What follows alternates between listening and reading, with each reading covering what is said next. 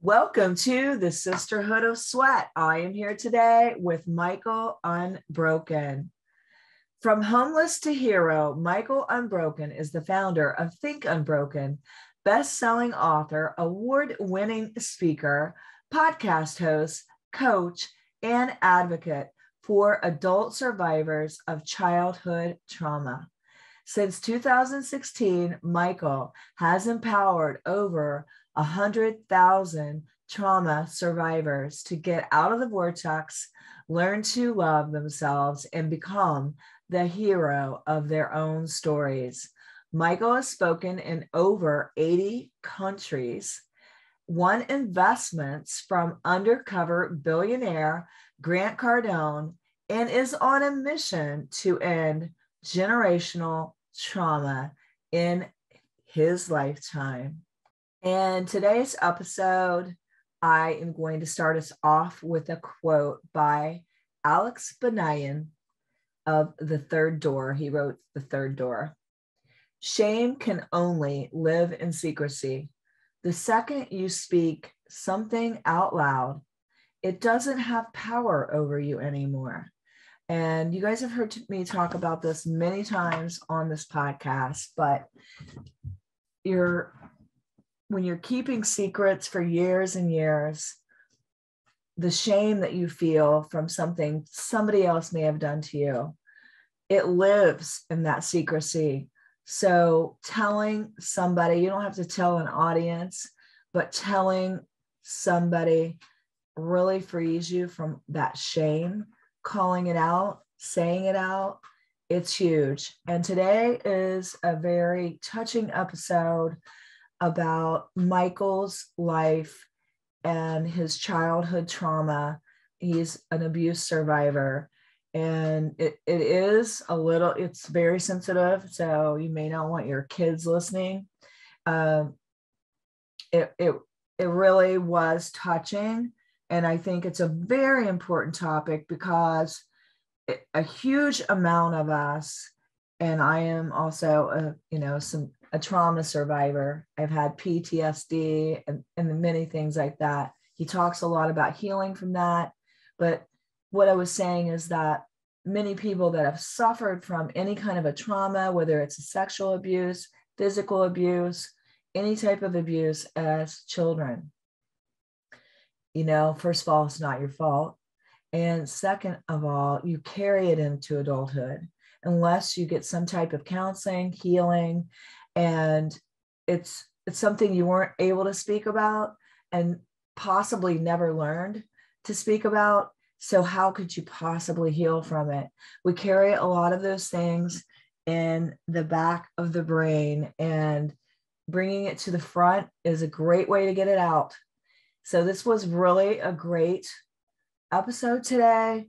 I hope that anybody out there that is feeling broken that you find that you can think unbroken and have healing and prosperity and go on and have a great life because it is not what has happened to us, but it's what we do about the things that have happened to us that define us.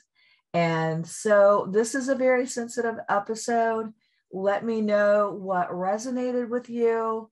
And as always, you guys, keep on keeping on. So let's just tune into this episode with Michael Unbroken. I am very excited to welcome Michael Unbroken to the Sisterhood of Sweat today. Welcome, Michael.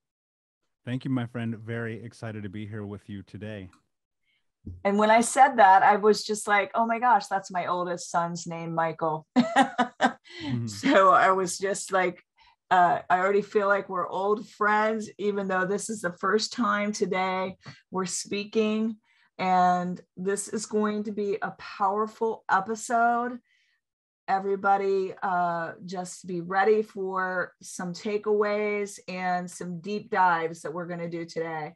And I just want to really start with introducing you and your story to my audience because uh, I know there's so many of us that have been affected by things that have happened to us in the past, uh, relationships, maybe things that happened when we were children. and you have a lot of knowledge and you have been there, done that, and you've come out as thriving now after all of the surviving you've done. So, can you just walk us through some of your story so people understand where we're coming from today? Yeah, absolutely. You know, when I was I was four years old, my my mother, who was a, a drug addict and alcoholic, um, she actually cut off my right index finger, and that kind of starts baseline, right? And people's first reaction is always like, "Whoa." And and the thing I now understand that I didn't understand then, of course, is like that was just this repeat of trauma. And my stepfather was super abusive, the kind of guy you pray is never your your stepfather. And you know, he would he would hurt my brothers and I. He put me in the hospital a couple of times, right? And so the the most dangerous place in my day-to-day life as a kid was my own home by the time that we were 10 years old, I had lived with like 30, like three zero different families getting bounced around place to place to place. We were always getting evicted. We were constantly homeless. Like it was just a part of the growing up. When I was 12, I got high for the first time, drunk at 13. By 15, I was expelled from school for selling drugs. And, you know, I was running the streets, I was running with guns, stealing cars, breaking into houses, like doing all those things and luckily I got put into a last chance program and I still didn't graduate high school on time. Basically they handed me the diploma like, dude, good luck. And and in that I was I was in this moment of looking at my life and was like, what is the solution for poverty, for homelessness, for abuse? And I thought it was money. And so I made this decision by the time I'm 21, I want to make a hundred thousand dollars a year legally. Now, the legal part was very important because today my three childhood best friends have been murdered. My family, I have family in prison for life. I've been in handcuffs. Like I knew the path I was heading down if I didn't make some massive changes.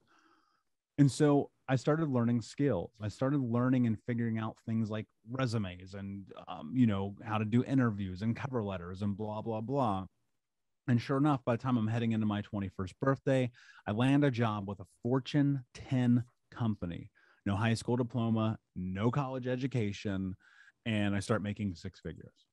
Well, the thing happened to me that happens to people who've never had money before, and it completely destroyed my life. And I found myself at, you know, 25, 26 years old, 350 pounds, smoking two packs of cigarettes a day and drinking myself to sleep. And one day I wake up and it's 11 o'clock in the morning. I'm smoking a joint, eating chocolate cake, and watching the CrossFit games. And I was like, man, this is rock bottom. Quite a combination. I, I, was, I was like, this is it. This is as low as it gets for me. And I, I went in the bathroom and I was looking at myself in the mirror and I just, I did not recognize the reflection.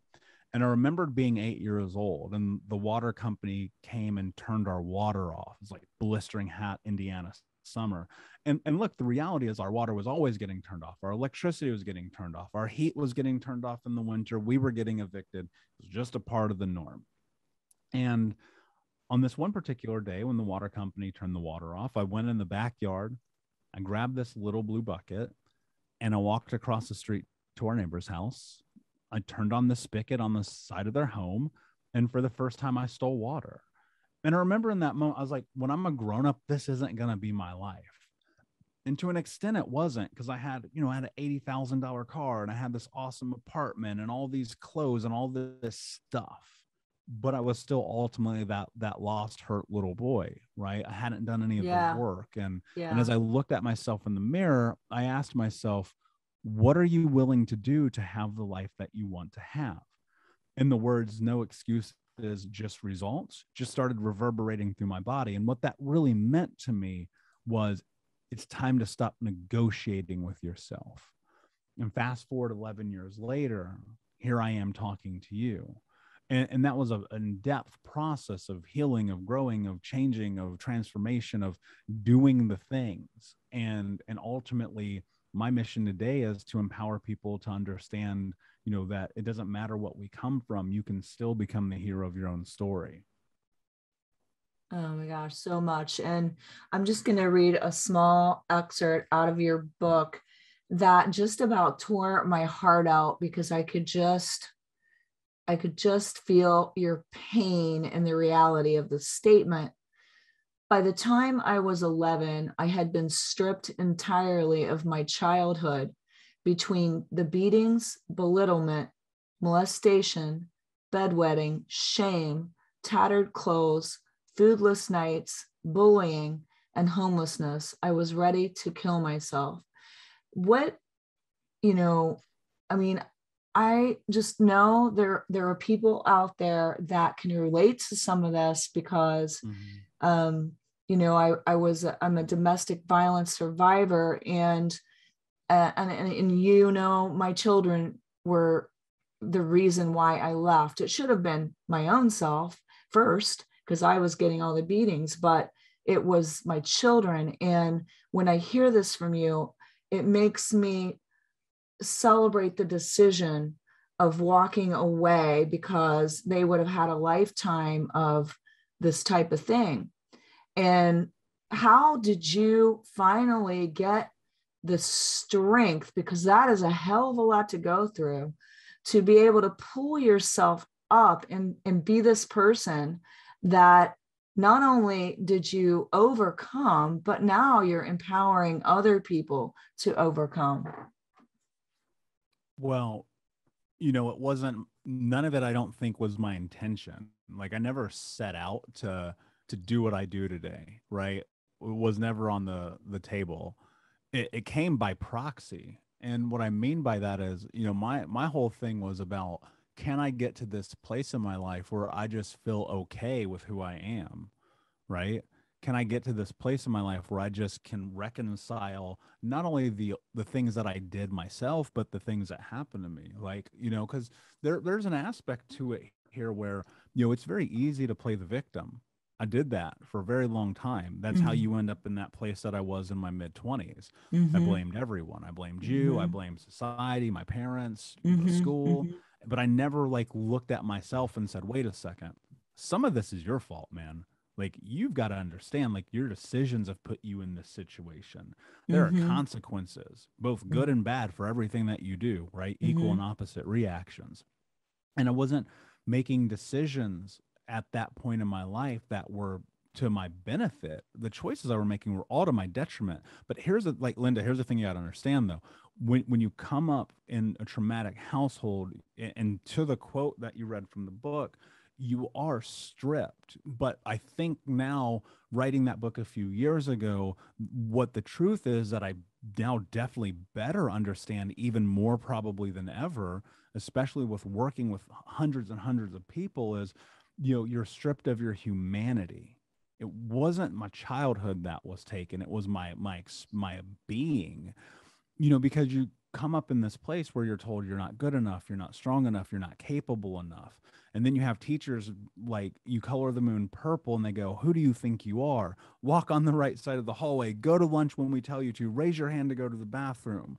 And and all this time, like as a kid in your developmental age, you're you're trying to step into your intuition so that you can learn to understand who you are in the environment that you're present. But the reality is that if you come from a traumatic background, you don't ever get to do that because the most dangerous thing that you can ever do is be yourself. That to me was what I've come to understand at a better level of depth than ever before. And so the the process wasn't about me getting to this place where I am now. The process was can I know who I am? Because at 27 years old, I'll never forget this. I recognize I have zero self esteem. I have no confidence. I don't believe in myself. And the worst part of that was I never did. And so I had to learn how to become a human being. Like, this is not to be crass, but the, the Michael sitting here having this conversation with you, this is a realization of the idea of the person I thought I could be 10 years ago 15 years ago 20 years ago right? And and that became this uphill battle of can i show up for myself? Can i do the hard things? Can i say yes to what i want to say yes to and no to what i want to say no to? Can i establish values and boundaries and personal statements and just really step into this place in my life where i took ownership? And and and it's really about this can you acknowledge the reality that bad things happened?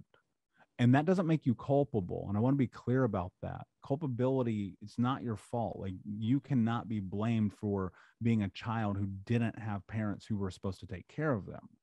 But at some point, and this is where it gets difficult and this is where it gets hard for people to palate and it, it's a it's the hardest pill to swallow at some point you are destroying your own life and that's what you have to come to realization about because until you do nothing in your life is going to be different. And it takes as much effort and energy to destroy your life as it does to build it up. But building it up requires stepping through fear because you've never been allowed to be who you are so it's unknown territory as you go down that path of discovery. Uh yeah i i mean you you just said so much because it is like we can be victimized. You were you were definitely victimized when you were young which sets up a whole chain of events um, because of the messages that you're receiving in your you know in your childlike brain about yourself. And you're believing these things that people have said about you uh, and, and but you know that's the problem is they aren't actually true. And we're believing the story that people said that we weren't capable, that we weren't strong, that we were unlovable. And at some point, when you did take ownership, you realized that you can be a victim but you you can be victimized but you don't have to live as a victim you took responsibility for your decisions for your life for the rest of your life and anybody out there listening to the sound of my voice, you can 100% change your story. I did, Michael has, and we have been through a lot. And it isn't what you go through. It's it's what you do about what you've went through. It's what decisions you make after the fact and getting yourself some help and some support um, goes a long way. And I love this part in your book when you say that when you look in the mirror now, that the wailing police siren has turned into a powerful yet gentle whisper of a breeze that tells me you are strong, you are capable, you are loved. It is through your story that others will find their light. It is through your power that change will happen. I just got the chills. Go forward without fear because today could be the best day of your life.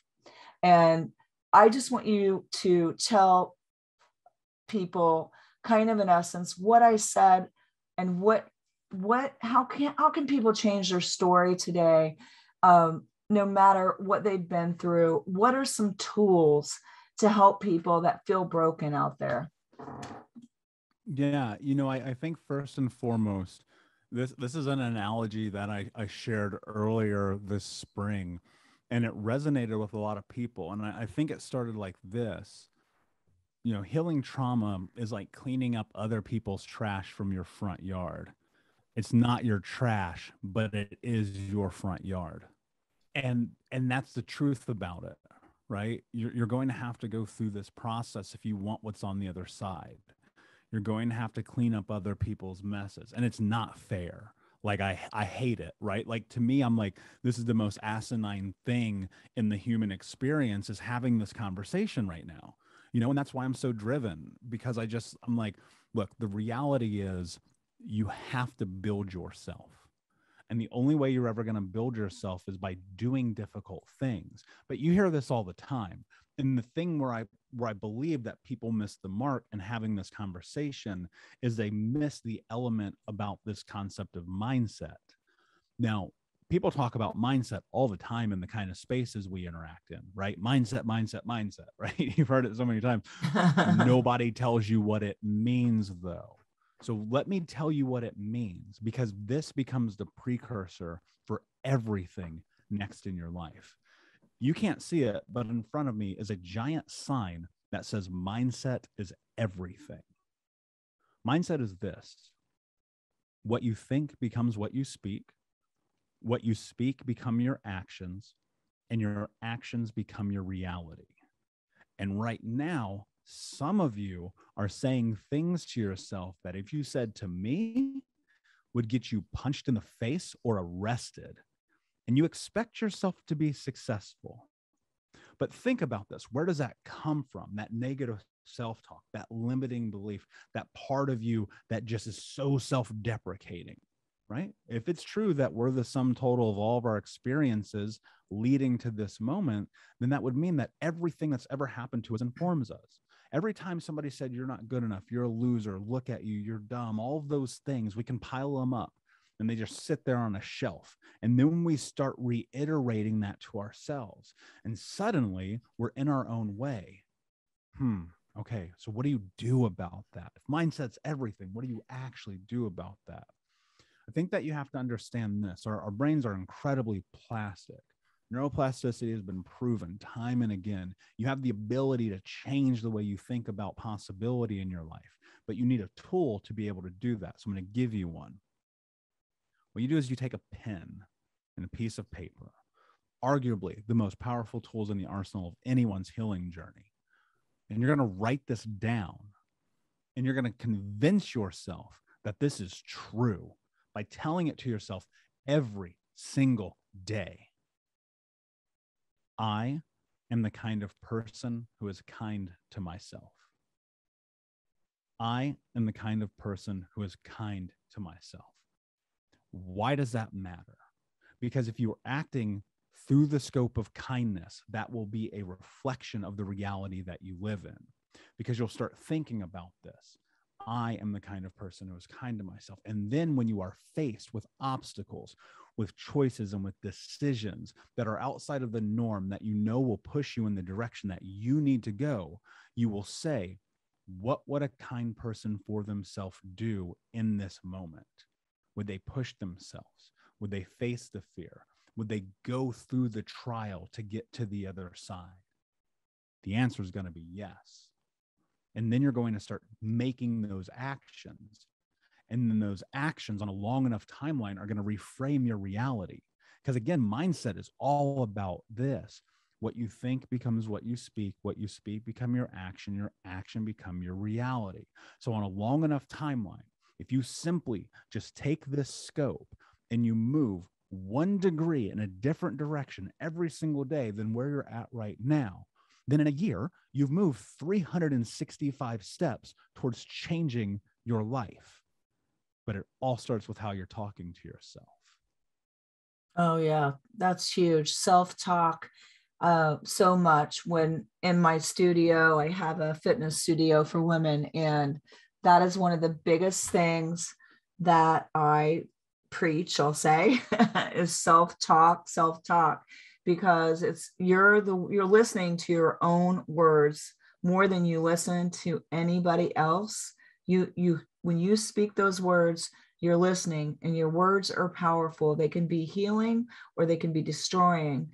And so like listening to what you actually say, I've had people write that down so they could actually see what they were saying to themselves. Be, because would you say that to someone you love and why don't you love yourself enough not to speak to yourself that way you know it's got to start with loving yourself because loving yourself then translates into everything in your life and i love this quote in your book so much i don't know why i'd never seen it by before because i'm a huge fan of maya angelou but i love this quote because I think I've kind of lived my life by this. I can be changed by what happens to me, but I refuse to be reduced by it. And I remember when I got out of the situation with my two children, and I had made up my mind that digging ditches for a living would be better than living the way that I had been living. So I was getting out. And and uh, it was just me and my children. And I just remember thinking, um, this has happened to me, but this does not define who I am. And anybody out there, regardless of what what has happened to you, you are not what has happened to you, and your circumstances do not have to dictate who you are, define who you are, or have anything to do with the present moment and the future moment. th- those decisions can be completely up to you so how do you how did you find your way um, and to just realize what was your moment when you just realized that you could change your story well you know i, I think it's a, a combination of things and when I was a kid, it was very much, I always looked at my life and I said, I cannot wait to be an adult. Like the only thing I ever wanted to do as a kid was be a grown up. That's it. I had no other dream. That was that was my dream, be a grown up. Because I knew that once I was a grown up, I could change everything. Right. So even as a kid, I knew this. But what happened as a grown up, I wasn't moving in a direction that was towards my benefit and so it was just it was actually more so a series of really events that were detrimental to my life that became the catalyst for change and and I, I don't think that there was a singular moment it was an accumulation of multiple moments over 26 years. And and ultimately i think that like a lot of things it just became there was this experience of like the the last straw that broke the camel's back if you will right? And you go okay i've had enough of myself. I've had enough. Do something about it. But the change came if i were to name a moment the change came in making a decision i decided in the same way that you decided mm-hmm. yep it's you all said, about that decision ditches i would rather dig di- i get that right make a decision about your life I would rather look, I'll tell you this. I would rather be anything other than the thing that's destroying my life. Right. And so, what are you willing to do to have that? And you have to make decisions, you have to make choices. And people are so stuck in indecision, and that is the space of failure. If you don't decide, like you can't think about changing your life, you can't try to change your life, you can't shoulda, coulda, woulda change your life you can only change your life or not. You can only transform or not. You can only do the workout or not. You're not going to magic yourself into anything. There's no Disney moment, right? This is what people have to understand. They're always waiting for somebody. They're waiting for the perfect moment. They're waiting for the thing. There is no Disney moment. Nobody is coming to save you you want to create massive change in your life, you're going to have to do hard things. You're going to have to decide. You're going to have to wake up at five o'clock in the morning. You're going to have to stay up late. You're going to have to go to therapy when you don't want to. You're going to have to read the personal development books and go to the conference and borrow money from a friend so you can afford the flight. You're going to have to figure it out. You're going to have to stop making excuses. Like that's so hard for people to understand. And I wish it wasn't we can use excuses all day long. They're right here. By any means, please, you're welcome to. No one's going to blame you for doing that. But if you're sitting here and you're miserable in your life, you hate your job, you hate your relationship, you you hate all these things that keep you awake at night. And yet you make excuses for it, you don't get a complain. That's the hard thing, right? Because that's the hard reality. I've never in my life seen anyone's life change without a tremendous amount of effort. And that oh, effort starts with decision making. You had to make a decision, Linda. And in that decision, you took action. Action is everything in this thing, in this game. Without action, there is no change. And guess what? Here's the really interesting part change only happens when you make change happen. And yeah. the fear that you have that holds you back, we all have it. We all have it. We don't know what's going to happen, but I can promise you this you're going to die. And on your deathbed, in that last blink of an eye, that last breath, that last moment before whatever happens next, you're going to have a thought. And if you have a thought of, I wish I would have, then you did not live. Oh my gosh. And it's so funny that you said that because I was on the way home from the studio. I was listening to Colin Powell's funeral and I was just like blown away by the things people were saying about him and how how great of a man he was and how how awesome the things people were saying about him was and that they're basically having commentary like they would have commentary at a great sporting event. And i just thought about when someday we are all going to be laid to rest at some point what do you want your story to read? Because it is up to you. It is up to us. It is up to us what our story is going to read.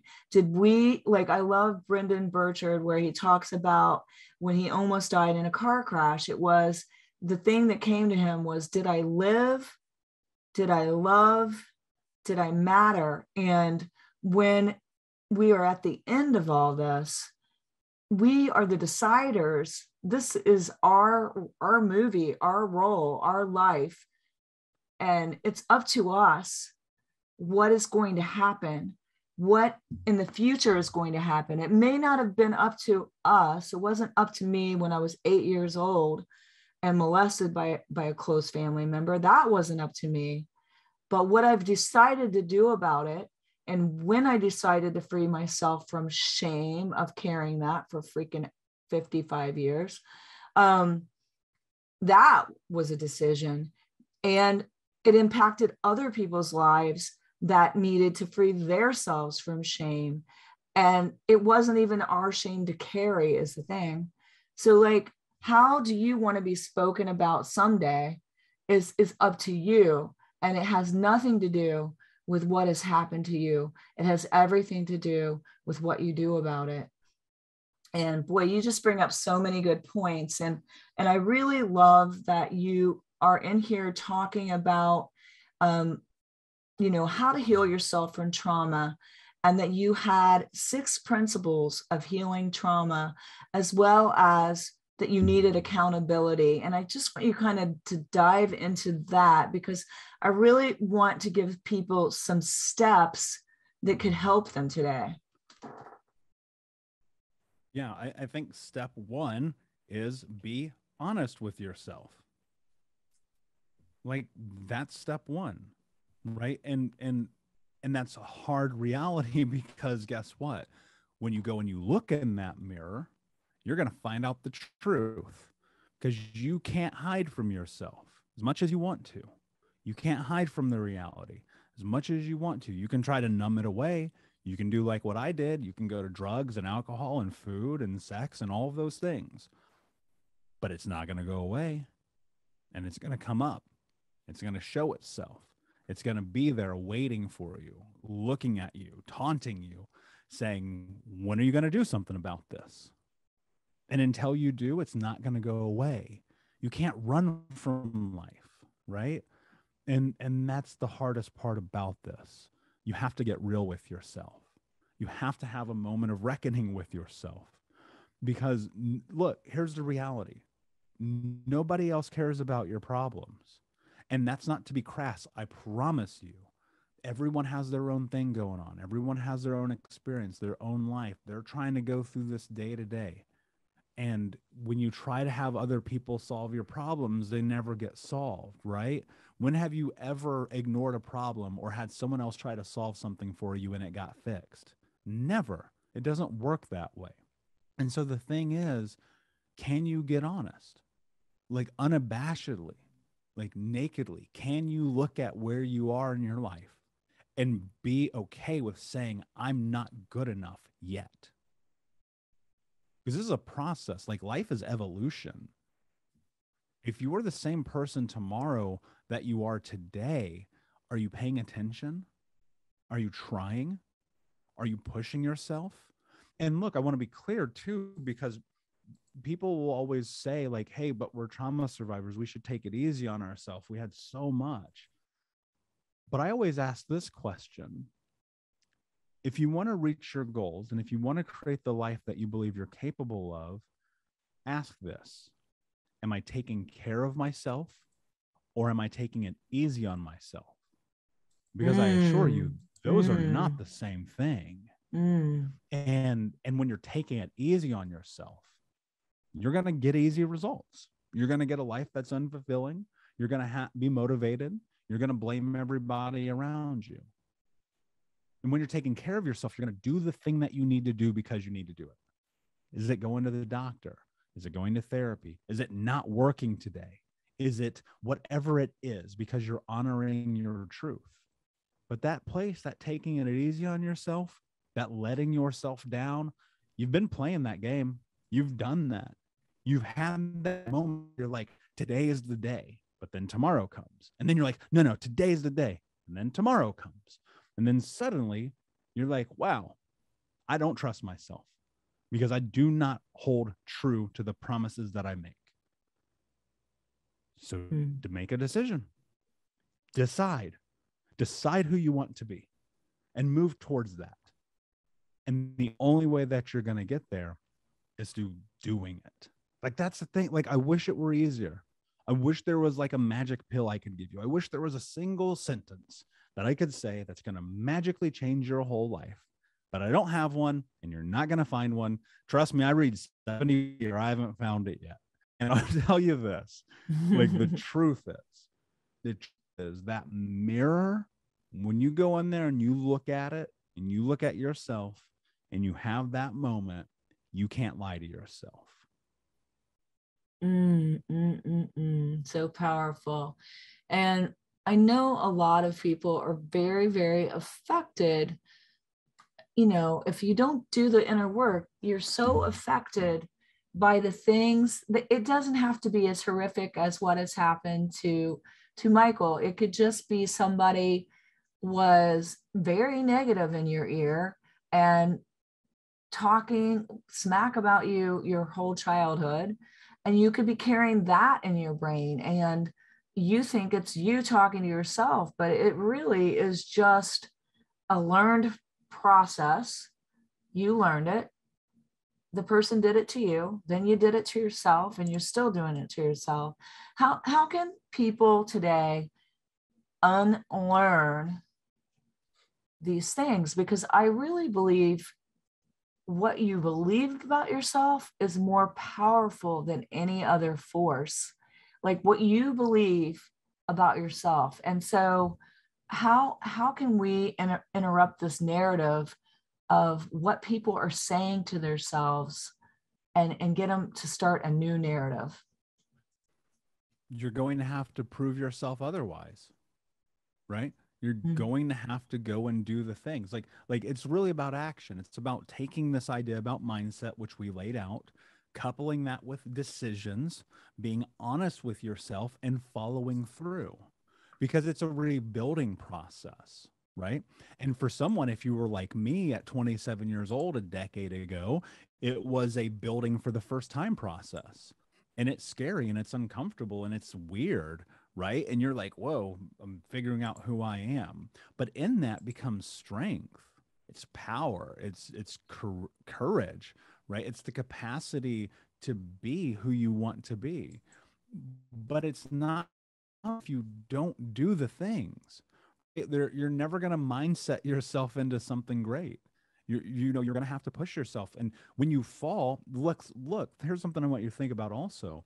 When you falter, when you fail, which I promise you you will, like as much as I know the sun's going to come up tomorrow, I know that I'm going to make a mistake.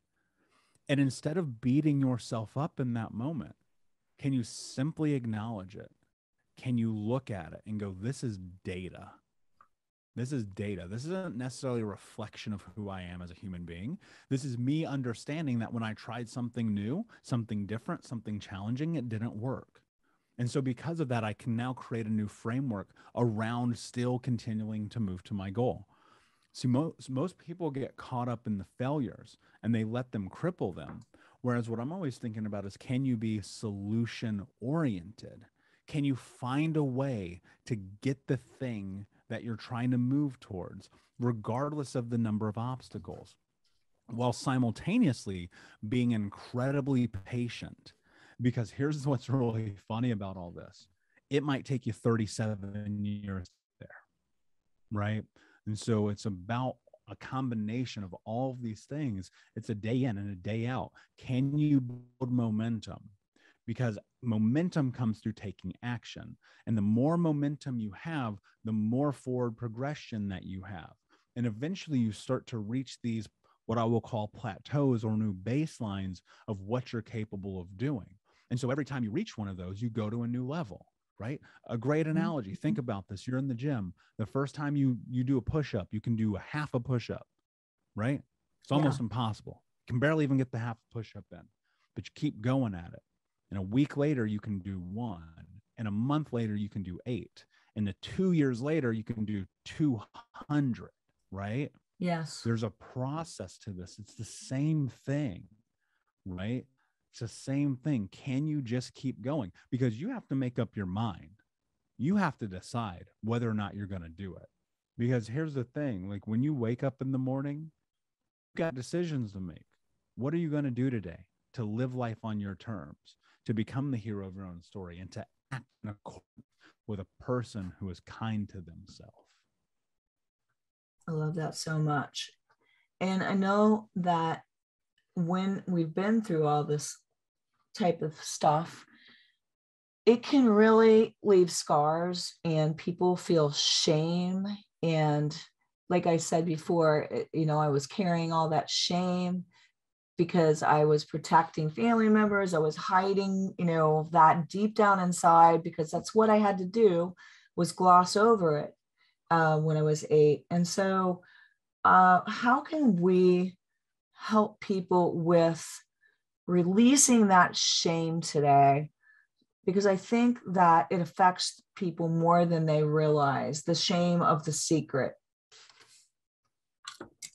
Yeah, you know, I, I think that's a very difficult question to answer, right? Because mm-hmm. it's different for everyone, mm-hmm. and and I think shame is a part of the human experience, unfortunately. Mm-hmm. But yeah. there's also the aspect of understanding, like, whose shame are you carrying?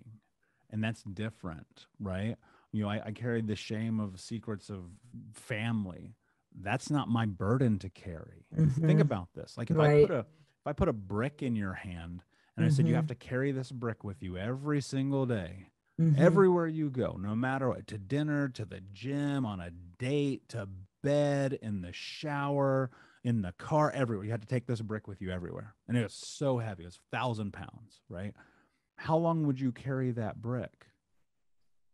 How long would you do that before you started to figure out a way to let go of it? Right.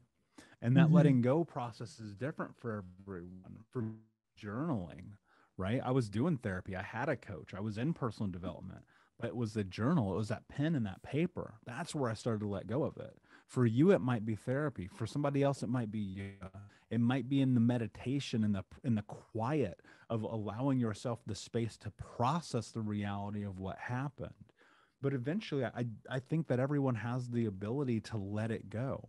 But it is that it is a process of letting it go and and putting it where it needs to be and that's on a shelf somewhere far removed from her from where you are today and there's a million books on shame there's a million TED Talks on shame. There's all that stuff about it.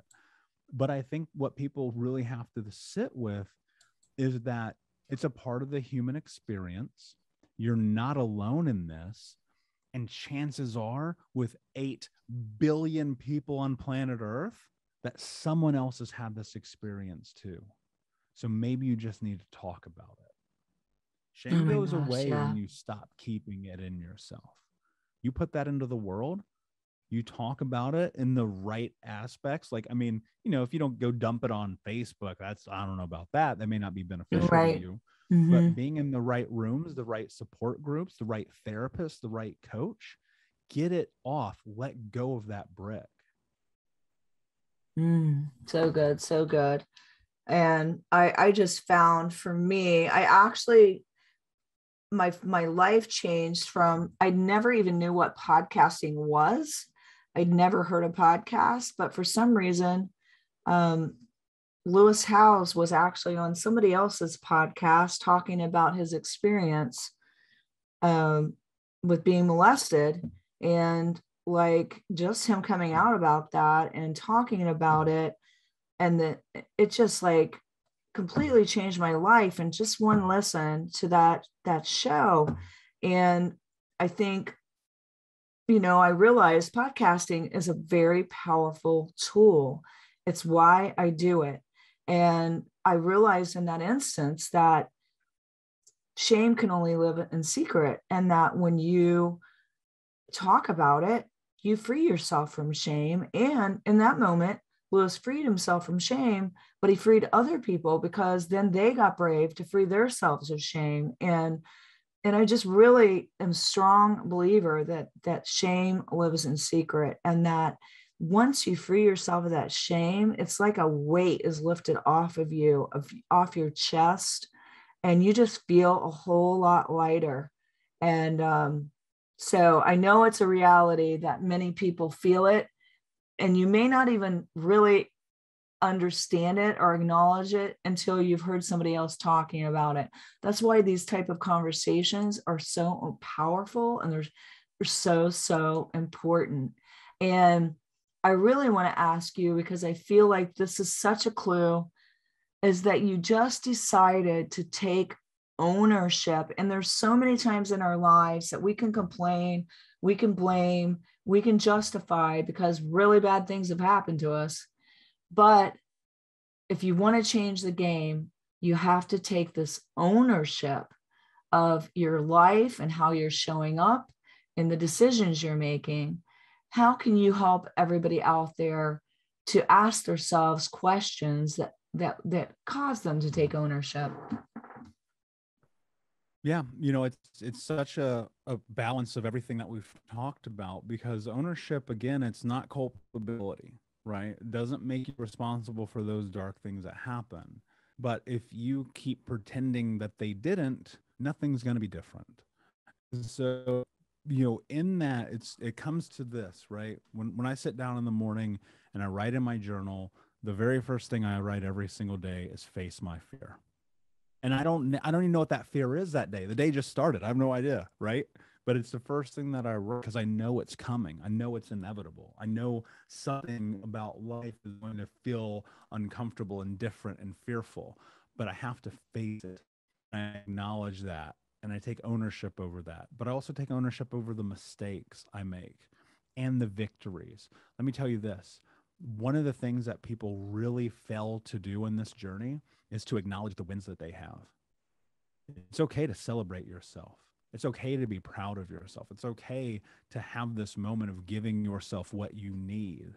And sometimes that's acknowledgement like, I did a good job. I showed up today. I did the thing I said I was going to do. I built my future. I went to therapy. I did the thing. Like, whatever it is, it doesn't matter what it is, right? You got to own that too but there's also owning your emotions right some so easy to be angry. Like that's an easy emotion right? But but can you be happy? Whatever that means these all mean something different for everyone. But can you feel the full scope and range of the human experience? And I, I think a lot of it really just comes down to looking at life and being present with what is happening. You know and i know that's a, a, a catch-all word that people are using right now but but presence is just simply pausing for a second and being like, I did it, or I didn't do it. So what do I need to do to make it happen? And and that's ownership. I think it's just a parlay of all of these concepts coming together and just showing up for yourself day in and day out. Mm-mm-mm. So so so good. Yeah, I, I'm sure you had post traumatic stress disorder after everything you've been through. Uh, I think like I know I did, and and still sometimes uh, I could be, you know, still I could fall into that where I feel intimidated or afraid or or some of these things that actually really relate and trigger back to the the trauma you you've been through.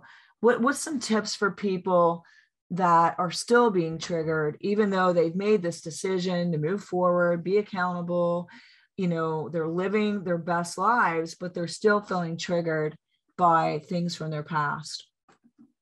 Yeah well you know skills have utility right? And and meditation is a skill journaling is a skill um you know yoga is a skill working out and being inside of your body is a skill breathing is a skill right? These skills they all have utility they all serve a purpose especially if you're if you are triggered right? And and i have those experiences too but what i'm always thinking about is can i mitigate the impact? Something that used to trigger me in this way or, or or send me into this this spiral that would last for you know three months now lasts for like three seconds right? Because it's about that idea of presence. So go into this place where you start to learn like how do you actually get into the parasympathetic nervous system right? And one of the best ways that you do that in that rest digest recover the opposite of the sympathetic where it's all about your adrenaline's coursing through your veins you're freaking out your amygdala's all over the place about survival that's that place of being triggered. So how do you move out of that and into the parasympathetic you take a moment and you pause and you breathe and you evaluate your environment and you ask yourself, Am I safe right now?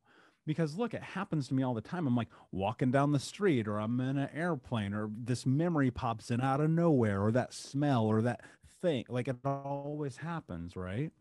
But what tools can I use to mitigate the impact of that and to reduce the impact of that? Well, I know I can take a moment and breathe and close my eyes and ask myself, am I safe right now? Right? You just got to, you have to understand that there's so many elements to the human experience that it's going to happen. You can't run from it. Like, I mean, I've been doing this work for a very, very long time and it still happens. But you yeah. have to leverage the tools that you have at your disposal. And that's what's most important. That's ownership. And I really, I love that. And, you know, it, you wouldn't be i think like i had to pretend like you know through my childhood many many things that nothing had ever happened. Like go on and expected not to tell and just um like nothing had happened. And i really think I still to this day, I just recognized it the other day. So your healing process is a long-term thing. It doesn't just happen overnight. You're going to have realizations all the way up until I'm 59. Um, so you're going to have these realizations of things.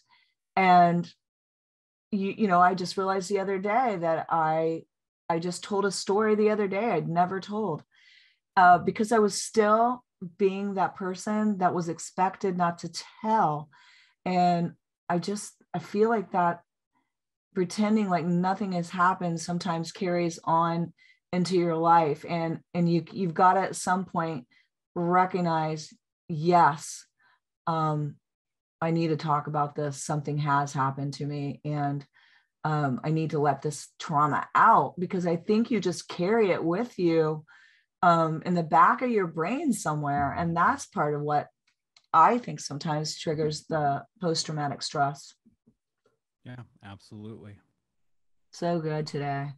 Well, what would you like to impart to the audience before we go, before we sign off today, that would help them just like maybe three tips to help them and overcoming and understanding their past and just moving on to a brighter future. Yeah, totally. And, and look, it's it's very simple. You're not alone. Ask for help and do the work. So good. I love it. Three in that you couldn't be any more clear. It, it doesn't have to be complicated, right? Nope, it does not so good. And i just want to tell you i just oh my gosh i was just i was reading your story and i could just oh my goodness feel the pain.